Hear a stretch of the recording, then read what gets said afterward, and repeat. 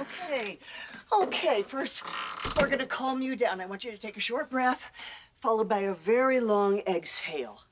Good, good. You keep doing that. Now, Dwight, what is going on? I don't think I can do this job. Why? Everything I've tasted so far has been fantastic. It's not the cooking, it's the baseball. Of course it is. I've been anxious my whole life. Baseball was an escape till I got into the minor leagues. I was a pitcher for the Midland Rockhounds, and I was so good that they scheduled me to pitch on opening day. Uh huh. Okay, restaurant folding up outside, but go on, continue. Before the game, manager says, Everyone's dependent on you. My head started spinning. And then when you said, It's all on you, Oh. I started getting the same feeling. Oh, Dwight. I'm getting it now. No, no, no, No, no, no. I'm getting it Exhale. now. Dwight, Dwight, exhale. Dwight, Dwight. You're picturing yourself on a beach. It's quiet. You're alone, and no one needs anything from you. People are leaving!